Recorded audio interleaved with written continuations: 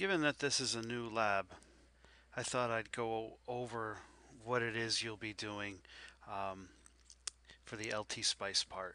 So what we have here is something to test or measure tau in the time domain. And so we'll have a square wave. And over here we'll measure tau via the cutoff frequency method.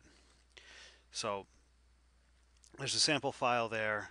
And what I've done is I've set the pulse width to 150 micro, uh, microseconds, which is longer than 5 tau, and the period to double that. Um, even 5 tau um, is what we use to you know to say that a signal has arrived but as we'll see on the function generator or uh, on the oscilloscope that actually you want it when you're actually testing it, you want to let it to go more than 5 tau. But still, 5 tau is an important thing. So to measure measure this, we can do two things. I can use a single cursor and just find where I'm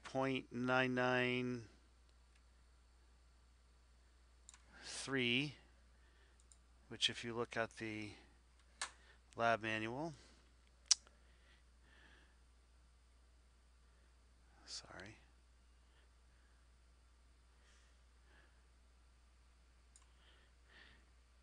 Okay.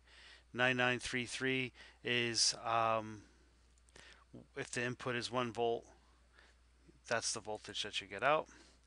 And so um, I'm pretty close to that right here. And so that's 79.71 microseconds. And so divide that by 5, and I'd have tau.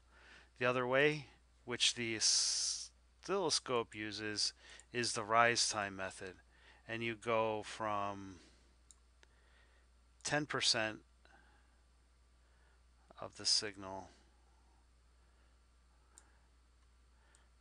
I'm having trouble there.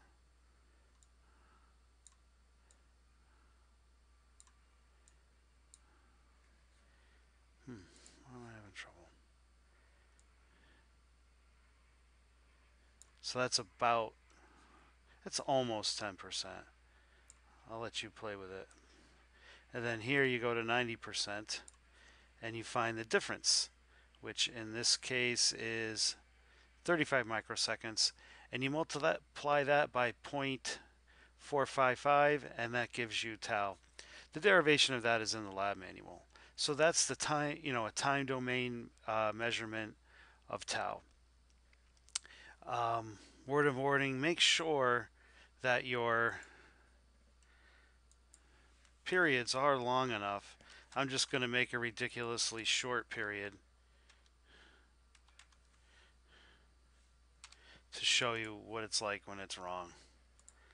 Okay, so I might be, see, um, I'm not actually going to one, so the oscilloscope would take 90% of this and 10% of this final value, which is not 1 volt, it is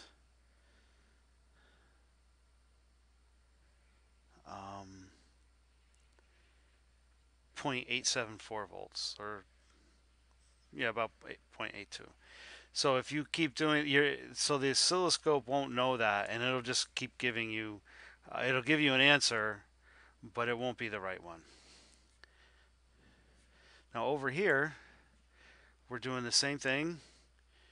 Um, where we're trying to measure the same thing by finding the 3 dB point. Um, so I move this till I get a magnitude of about 3 and phase of minus 45 and this is giving me a frequency of close to 10 kilohertz and I can calculate the time constant from there. Now there's something that you need to know about these function generators. All right, and I'm going to put this back to where it was so that you can see. Is that they have a 50 ohms series impedance. Now you can um, just right click on the voltage, parasitic properties, series resistance, and just put 50 ohms. All right, and now we're going to run it. And I'm also going to plot the input.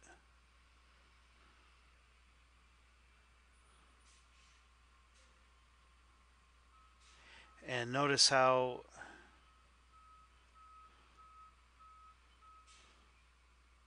it's changed. And then over here, I'm going to put a series resistance of 50 as well.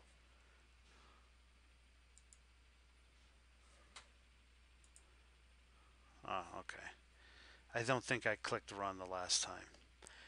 Notice how V1, and I'm just going to put a little delay on that so you can see of uh, uh, 20 microseconds so we can see it.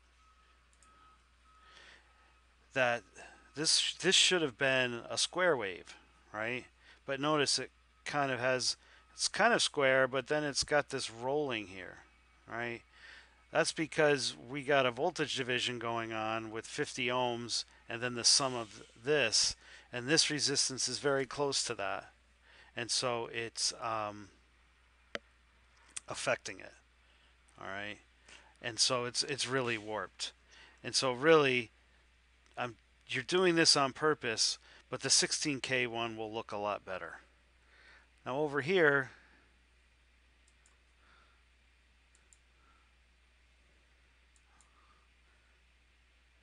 Doesn't look too different, but um,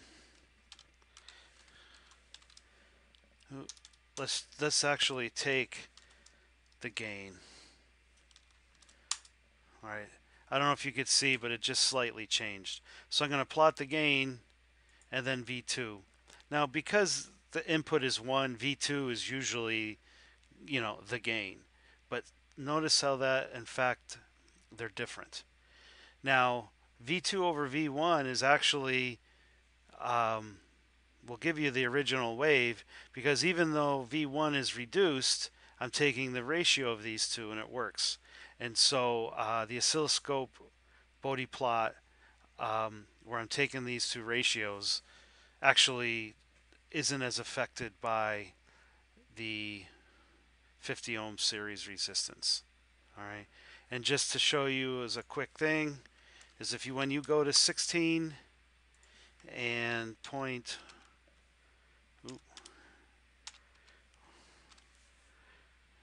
here should have the same time constant.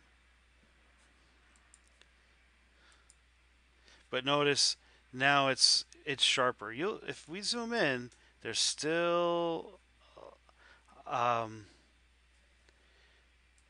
still this voltage division problem. And yeah, if I went to 160k and um, even smaller, now it's really hard to see, if if at all. Yeah, a little bit. I mean, that's that's going to be in the noise. Anyway, that's what you have to do. Um, you can use different value, different ratios, but you really want something with a small r and a large r and trying to get a time constant, uh, trying to get a cutoff frequency of around 10 kilohertz. If you have to go down to 8 or up to 12, uh, based on the parts in the lab, that's okay.